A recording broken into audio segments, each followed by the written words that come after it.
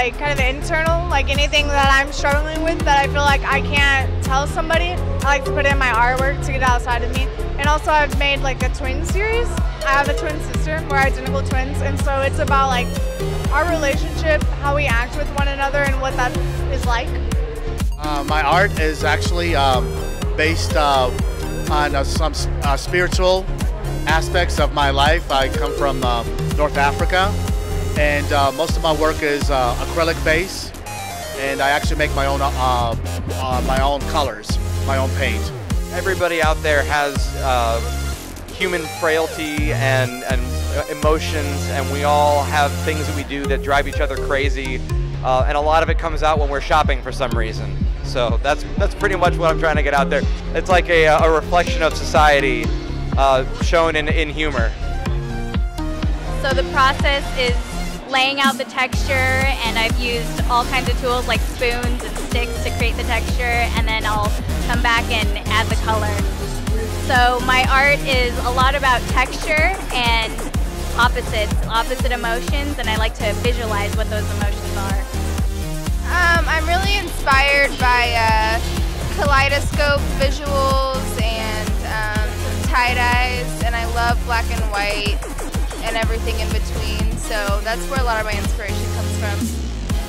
So the message that I'm wanting to send with my art is I'm wanting to show the harmony between urban architecture and nature and trying to show that these can coexist and we can live in this in harmony through the textures that are found in nature and then colors that are found in architecture. Uh, the message I try to give in my photographs is emotion captured. In every one of my images I try to do two things. I try to capture an image from the subject and evoke an, an a emotion from the viewer. So it's two parts. I capture an emotion from the subject, I evoke an emotion from the viewer. And that's kind of the reaction I normally get. And that's what I'm striving for in every photograph. You can draw occult symbols, you can draw women, you can incorporate these things and make them look strong and powerful. So uh, really, that's the ultimate goal for my art is to show that you can do things with both uh, symbols and even occult symbols and women and make them just bold and powerful. Uh, there's there's a certain satisfaction of working with wood. Um, it's this manipulating such a strong life, uh, something that has its own life to it. You know. Um, that inspires me. I absolutely love to bring new life to a pile of old wood um, that's you know rotting behind a barn or or just forgotten about. You know, and I've been fortunate enough to find those piles of people who have this accumulation of wood who know that it deserves it deserves to be uh, reused. You know, given new life. Who knows? It could it could. Who knows what it's seen, and it could see a hundred more years with the way that it's repurposed and uh, put in people's homes. You know, every, everybody's art resonates, you know, in a different way. So what I try to do is try to bring um, a piece that is going to invoke the, the real feelings of, of how I feel about it. So every piece of art that I have is, I put my heart and soul into it, you know, and some of the pieces that I have take two, three hundred hours. It first started out with astrology, and it just kind of blossomed into everything else.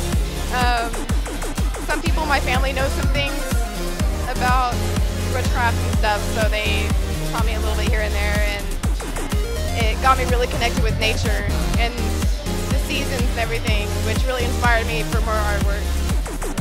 A lot of people have told me that when they look at it, it they it kind of trips them out a little bit, and I, that's what I wanted. I wanted people to to, to, be, to view the undulating black and white and to um, kind of be mesmerized a little bit, and, and maybe hopefully because I, I, feel like I think a lot when I'm most like mesmerized or um, confused. It helps me to think. So I want people to think when they when they look at that. In fact, all my artworks, I want people to think. That's really what I, I want. My family is all spread around. I've got family in Singapore and Scotland, so um, I really pull from them, and I pull the colors that they love, and I feel like I create a lot for them, but um, it's you know my art, I guess. so I, I actually like for my painting to do to pop, like 3D artwork.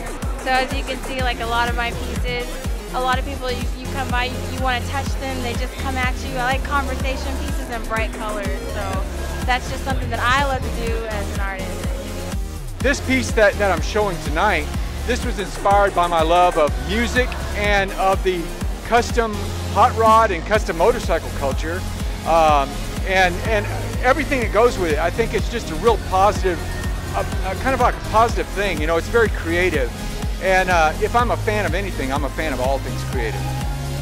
Since then, I've started uh, doing prints and different things of the, the originals that I have, and most of my stuff is mainly about um, movements and contrast and a little bit of interpretation.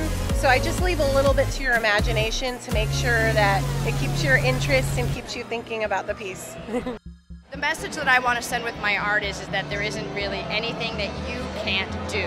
Most people are surprised that I'm short, I'm a female, and I'm wielding big tools and doing crazy things with metal as well as glass. And I just believe that every piece has a story. The story comes from the artist, and that artist can be you if you decide to actually do something with your hands. So why not try it? I rely on uh, my dreams a lot. Um, I lucid dream, and uh, some things I just basically dream up. And I basically want to create a sense of emotion behind the pieces rather than just a cartoon character. So my artwork is a, a non-toxic epoxy resin in which I use acrylic paint to paint on top of canvas, coat it with multiple layers of resin, and I also use fluorescent paint. So over time, when you use a black light, you can actually get a different painting, whether that be a day or night piece. And it also protects it from UV light as well as moisture. I'm a self-taught artist, so every painting I do is constantly a, a learning lesson. Um, but I try to promote self-confidence, self-worth, and positivity and, and love in my art. I take photographs of things that I see that I love, things that I think others will not be able to see. I don't do any changes to my photographs except for the color. I try and capture things exactly as I see them so that I can share them with others forever. My art back to uh, Rumi philosophy. Uh, that was a uh, dance, a kind of dance. It's called Sama dance, and it's uh, has it has a circle shape, shape and that's uh, to know, uh, but uh, to know um, humanity.